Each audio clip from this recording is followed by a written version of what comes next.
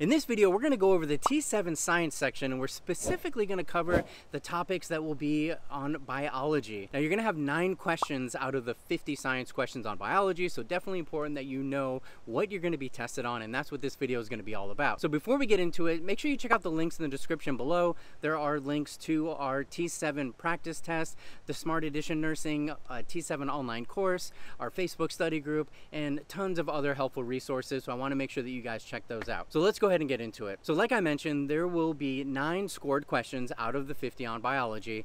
And much like the chemistry uh, questions, the biology questions will test your understanding of all the biological processes and how they work together. So it's less about just memorizing the definitions and more about the applicable knowledge when it comes to biology. So consider each thing that you need to study as a building block that you know continues to build on each other and help you understand uh, each topic as you go along. So for macromolecules, um, you'll need to know uh, each type of macromolecule, uh, also known as biomolecules. You want to know what is its structure, what is its role or its function, what is their functional unit, um, what is an example of these macromolecules. So study the different ways covalent bonds can be broken down and you'll want to know each macromolecule and, and, kind of how it impacts the human body and how it's important in a healthcare setting. So for example, monitoring lipid levels such as um, cholesterol and triglycerides uh, is really important for managing cardiovascular health and just your health in general. Um, and studying the two different metabolic pathways and what happens in each of those pathways. Understanding how cellular respiration connects to metabolism and overall homeostasis. Um, and that leads into microorganisms. Uh, so for microorganisms, you really need to know each type of microorganism, but specifically you should know their cell structure, the unique characteristics, and how they reproduce. Now for each type of microorganism, what kind of diseases they cause and examples of, uh, for each. Um, knowing the common infectious and non-infectious diseases would be important. Um, knowing what makes a disease infectious or not infectious and reviewing the types of transmission of diseases, the different ways they can be passed along uh, to people. So the uh, there's direct content, uh, direct contact, indirect, and airborne transmission. Uh, study light and electron micro microscopes, and know what they are and how they work, um, know you know what they're used for, the pros and the cons of, of those different microscopes.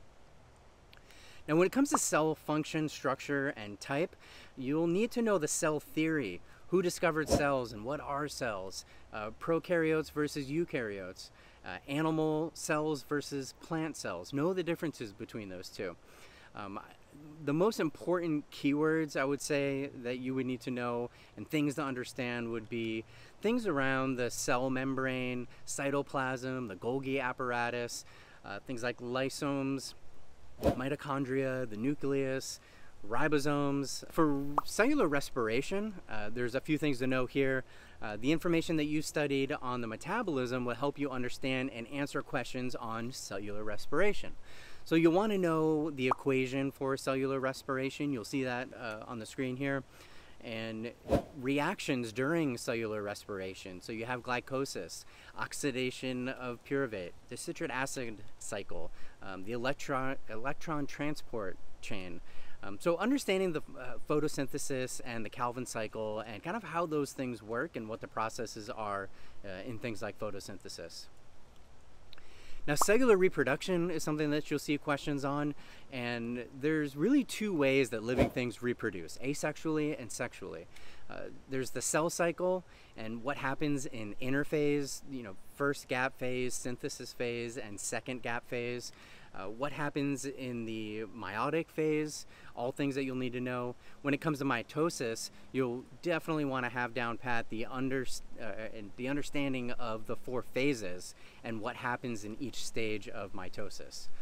Uh, from mitosis, you have meiosis, and that is to really understand its, uh, its rounds of cell division and how that works and what happens in the four phases of that cell division. So you'll need to know what are the products of mitosis and meiosis and understand what is happening with the chromosome in each of those processes. Um, what else? There's uh, understanding how cellular reproduction relates to things like genetics and DNA And if you can get an understanding of all those things, then you'll be uh, in good shape for the test. Again, check out the Smart Edition Nursing resources that we have in the links. Our online course is made specifically for the TEAS 7 covers every single topic with videos and flashcards and question banks and practice tests and everything that you would need. And, and you can access all that on your mobile app or in the, uh, on your laptop or webtop online. Um, so from here, we have uh, genetics and DNA. So this is going to be something that you'll need to know about, and this relates to things like um, Mendel's theory of heredity. You want to know what that theory is, uh, and then that goes into Punnett squares. Um, you want to know DNA and all of its parts, such as the four uh, nitrogenous base, purines, and pyridines. Uh, the three processes of DNA. So for the three processes of DNA, that goes into the replication, uh, which is the process of synthesizing a new strand of DNA. And the DNA will separate into two strands and build a complementary uh, strand that is different. There is uh, transcription, and that is the first step in using DNA to uh, uh, direct the making of a protein. It's the process that kind of rewrites uh, the information in a gene um, in DNA and into a molecule of RNA, which will be used to code for proteins. And lastly, there is translations, and this is the process of making proteins. So know all of these things for genetics in DNA, and there's a lot more to it, but this video is really just to give you a topical overview of what you need to be studying and the types of questions, the material that it'll be covering on the test. So that is everything that is on the biology questions for the science section. Now again, you can check out the links in the description, check out the TEAS 7 online course. There's a free practice test if you want to get an idea of what the questions are like and then we will have videos for all the different sections of the test from English reading math and science science there's chemistry videos um, this is the biology video you'll have um, A&P and so on so that there is everything that you need on the channel. So for that reason, if you found the video helpful, like it and subscribe because those new videos are coming out and I want to make sure that you guys have access to them and get notified as soon as they come. So good luck on the test and we will see you in the next video.